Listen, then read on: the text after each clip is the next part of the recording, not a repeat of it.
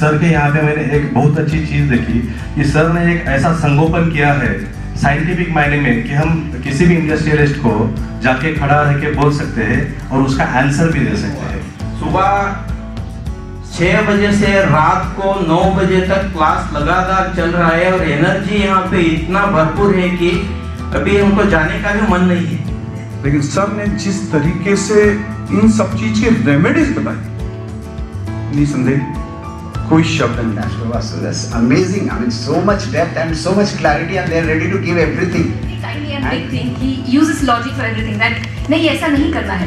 क्यों किसको किस लिए करना है किस लिए नहीं करना है उस चीज़ का साइंस उस चीज़ का लॉजिक जो हमें बताया जाता है and he doesn't hold back एक बात ज़रूर है कि मुझे कहीं भटकने का अवसर बहुत ज़्यादा नहीं मिला। गुरु के रूप में तो बिल्कुल नहीं मिला। हाँ ये इनके प्रकार हम हमारी इच्छाओं को भटकाते रहे, वो अलग विषय है। बाकी गुरु के रूप में मुझे भटकने का अवसर नहीं मिला, ये मेरा बड़ा सौभाग्य है। एक बात और एड करूँगा कि जो चीज़ें आठ, दस साल, बारह साल में सीखी जाती है, वो पिछले तीन साल के अंदर अंदर हमें सीखने का अवसर मिला और आगे भी इसी तरह सीखते रहेंगे। गुरु का सानिध्य और मार्गदर्शन प्राप्त करते रहेंगे। कि